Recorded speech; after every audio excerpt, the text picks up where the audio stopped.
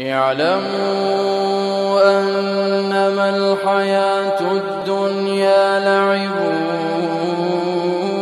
ولهو وزينة وتفاخر بينكم وتكاثر في الأموال والأولاد كمثل غيث أعجب الكفار نباته ثم فتراه مصفرا ثم يهيج فتراه مصفرا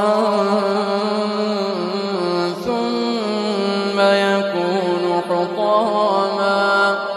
وفي الآخرة عذاب شديد ومغفرة من الله.